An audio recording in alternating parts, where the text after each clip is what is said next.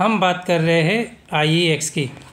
अगर आज के दिन की बात करें तो हमको फ़िलहाल फ्लैट ट्रेड होते हुए नज़र आ रहा है छोटी मोटी गिरावट इसमें नज़र आ रही है। इस वक्त स्टॉक जो है 143.65 पैसे पर हमको ट्रेड होता हुआ नज़र आ रहा है।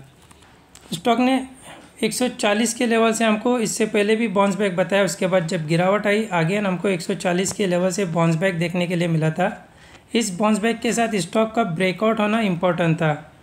लेकिन ये इसी लेवल से रिजेक्शन हमको लेता हुआ दिखा है 147, 146, 147 के लिए आसपास से हमको रिजेक्शन इसने लेता हुआ दिखा है लेकिन अभी बात की जाए तगड़े सपोर्ट की तो 140 का लेवल है इसका तगड़ा सपोर्ट जोन रहेगा।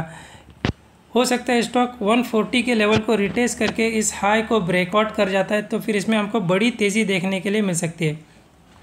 मार्केट में भी हमको ट्रेंड पॉजिटिव देखने के लिए मिल रहा है। और स्टॉक में भी पॉजिटिविटी देखने के लिए मिल रही है। स्टॉक भी अपने पॉजिटिव ट्रेंड में ही कंसोलिडेट अपने पॉजिटिव ट्रेंड में ही नज़र आ रहा है।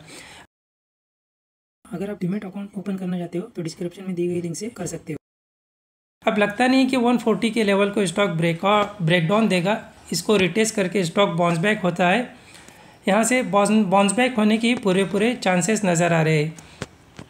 अब जब तक स्टॉक 140 के ऊपर है, तब तक इसमें बड़ी गिरावट नज़र आना मुश्किल है। अगर इस लेवल में स्टॉक सस्टेन होता है तो हमको जल्दी इसमें 150 का टारगेट देखने के लिए मिल सकता है। अगर 150 के लेवल को ब्रेकआउट कर गया तो वैसी कंडीशन में हमको 160 तक के भी टारगेट आई में शॉर्ट टर्म में ही देखने के लिए मिल सकते हैं।